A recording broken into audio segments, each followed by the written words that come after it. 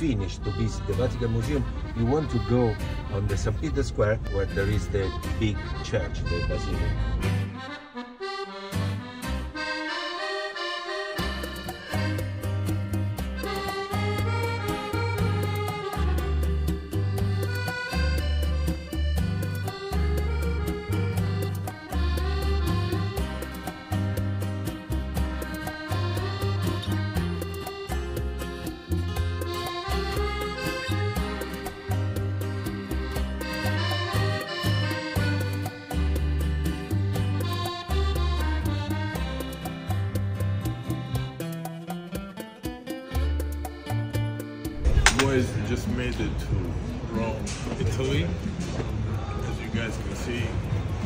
Changed my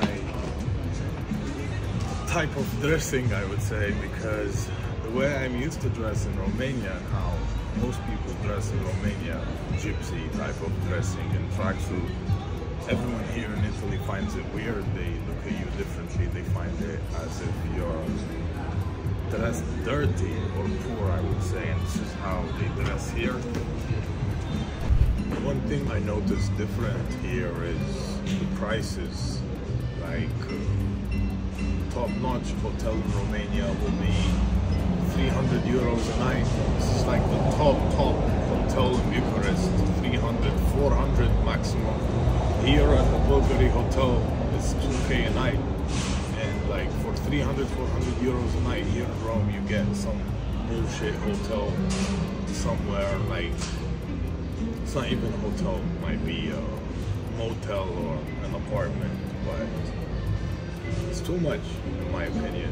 I mean the city is nice everything is nice but 2k a night for a hotel here is just too much even though it's a Bulgari hotel it's nice blah blah blah but like it's rome still in europe you're not in dubai or la the funny thing is, if you go somewhere in the center, a cup of coffee is like 12, 14 euros. And here at the Bulgari Hotel, two cups of coffee were basically 8 euros. Like, I mean, the city is filled with tourist traps, something I don't like. And uh, yeah, the nature is nice, the architecture here is very nice, but uh, have a lot of people trying to scam you, sell you bullshit. They sell fake bags on the street. Boys, so we are back in Romania. As you guys can see, my pool is green. I don't even know why. Thank God I'm moving away from this place. We already moved a couple of the cars to the new mansion. Started fixing the grass as well the other vlogs there were fucking holes everywhere here and uh, this is the setup right now. I'm gonna set up the camera and start this educational part of the vlog. What is up boys? I want to start by saying that this video right now is going to be about time management. But before starting our subject about time management I want to highlight something I learned now from my trip to Rome. And what I learned basically is nothing has changed. I talked about this on the Telegram channel as well. If you're not in the free Telegram channel, you can check the link in the bio, completely free. We're 12,200 something subscribers right now. I post a lot more frequently and almost daily, a lot more than I post on YouTube because it's my general ideas I write every day. And uh, I already talked about this on my Telegram channel. It's basically how slavery still exists. And from my trip to Rome, Italy, right now, when I went and saw the Colosseum and started to understand and learn about the history of Rome, nothing has changed, bro. Like back then, you had the emperors, the rich people, they were just sitting they have all the money, all the women, all the influence, everything. And then you had the slaves, which had to fight to gain their freedom. And the difference is, right now, the same thing is happening. But instead of using swords, right now they're using currency, they're using money. and uh, nothing has changed, bro. Gladiators back then, whenever they would win their battle, they would be praised and they gained their freedom. Right now, same thing. If you win in life, you become successful, you get a lot more money. What do you get? Freedom as well. So if you sit and think about it, nothing has changed. It's just the same exact concept but in a different type of application. It's the same exact concept from back then. Right now, it's just that it's a lot less violent right now. Going back to our main subject, which is time management.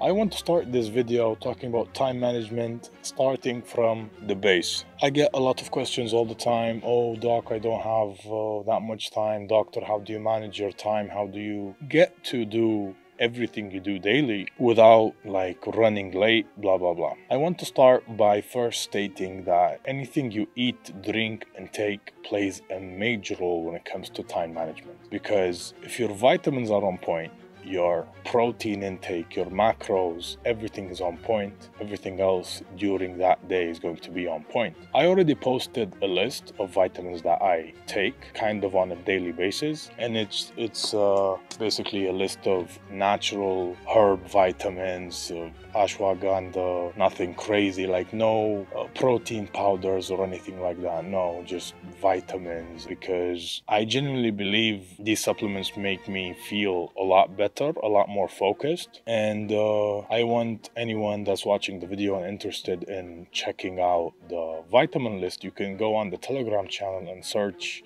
vitamins and you're going to find the list. Breaking down time management. Any person that tells me or texts me, I don't have time, I don't have time, blah, blah, blah, the first thing I would ask, how many hours do you sleep? Some might find it, oh, this is very uh, common, blah, blah, blah, but no.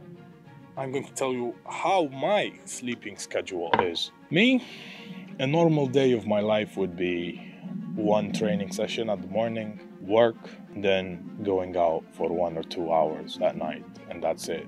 Then I'm back from going to drink coffee or eat something. I come back, do work, and then I would sleep. My sleep schedule, and I have some days as well where I train two times a day never missed a training session, never went to the gym and was like, oh, I'm too tired to train today or I feel bad today, unless I ate shit the day before. But this rarely happens.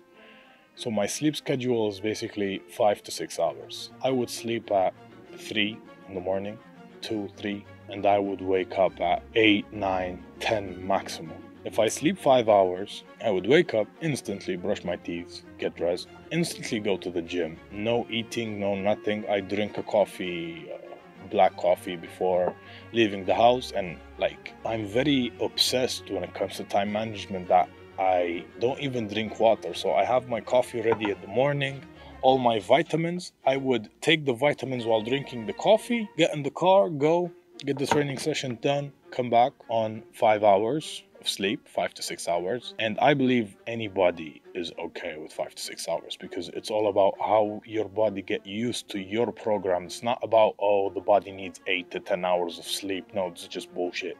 It's all about how your body reacts to you helping your body understand your schedule and your needs plus the vitamins help, what you're eating help, everything helps. I started implementing this recently because I know a lot of people like eating directly after uh, training. I eat one time a day because I'm trying to slim down even more. So I would have a soup or a broth because it, it kind of manipulates your body into feeling like you're you ate something and you're satisfied. After that, work for a couple of hours, then I would take a nap, 30 minutes to one hour. And why this afternoon nap is very important because you slept for five hours, five to six hours. You trained, your body is tired, you worked, you're mentally tired. If you sleep for 30 minutes to one hour, when you wake up, you're going to feel like you kind of recharged again. And this helps me when I have two training sessions a day. I would train in the morning, do everything listed, then have a 30 minute, one hour nap, then go to sparring. I would feel amazing because my body rested for 30 minutes, one hour. I mentally rested as well, can get back to work, go have another training session. These are kind of basics when it comes to time management. But let's get more into the spicy things, more into details. I'm a type of person that I genuinely hate wasting time. Like, I genuinely get pissed if I feel like I'm in a situation where I'm wasting time. And I want most of you guys listening to this right now, try to shift your mindset into making your mind understand that every single minute of your day is important. What I mean by this is most boys, men nowadays, what they would do is they would hang out with the same people every day, drinking the same drinks, talking the same bullshit stories, doing the same exact thing. I kind of created my circle to be extremely beneficial to me and to them as well. Yeah, we have our sits and talks where we're just talking bullshit, having fun and laughing, but we try to make everything as beneficial as possible it comes to managing time. Who you hang out with plays a major role in how you're going to manage your time each and every single day. Another very important topic when it comes to time management is girls. If you're the type of guy right now where half of your day is basically texting girls back and forth, replying to girls' messages. I hate to break it to you, my friend, but it's a very bad spot to be in. I'll give you an example of what I do because I like using these real life examples because whenever someone hears them, you can test them out and see if they work for you as well. But me personally, I hate texting girls. Instagram, WhatsApp, doesn't matter, just hate it. What I would do is, let's say you want to go out on a date. Hey, how are you? Blah, blah, blah. The typical normal couple of messages, two or three messages. Then I would video call instantly. While I'm on my way to the gym, while I'm, I'm on my way back home, these 20, 30 minutes, 15 minutes, this time that I'm basically just driving and I'm not using my phone. And I can't use my phone because I have it hooked to something to check the maps or something. That time I can dedicate it as well to talking to girls. And when you talk by video call, the first date is going to be a lot easier. Everything is going to be a lot smoother rather than just texting, wasting time and wasting energy.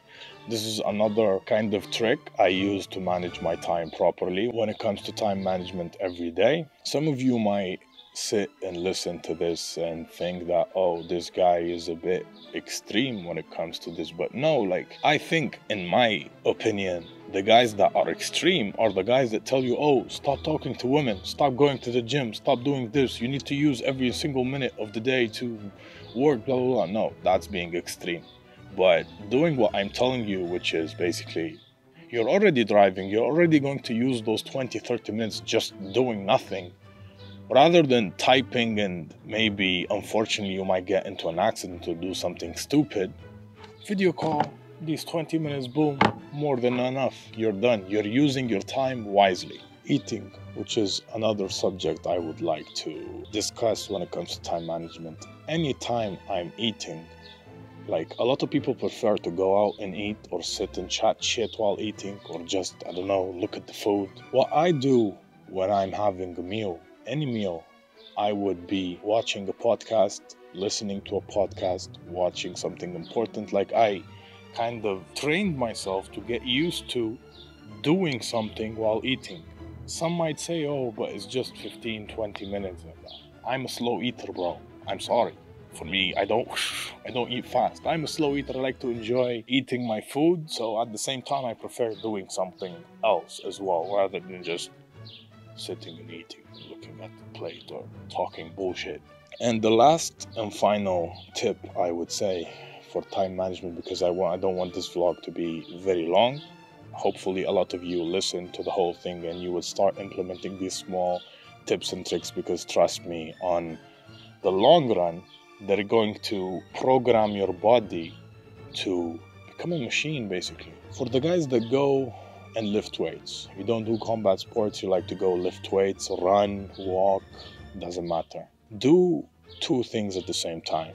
While you're doing your workout, running, walking, I don't know, 90 to 95% of men use headphones and they be listening to music. Instead of listening to music, listen to podcasts. I've said this before multiple times on my Telegram channel. This helped me a lot throughout my life because I've lifted weights for a good period of my life and I wouldn't be sitting and listening to music. I would be listening to a podcast, listening to something educational because while lifting and listening, one, you're benefiting.